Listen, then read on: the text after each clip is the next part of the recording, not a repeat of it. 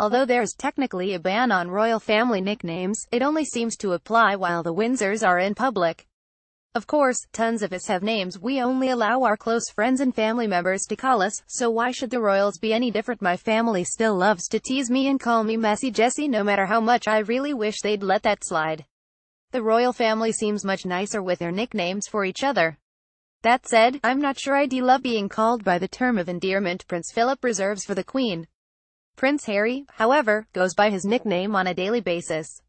He seems to be the only royal who has been allowed to maintain a name that isn't written on his birth certificate while out in the public eye. Take a look below to learn more about the royal family nicknames. And be sure to share the fascinating look at their real lives with your friends on Facebook.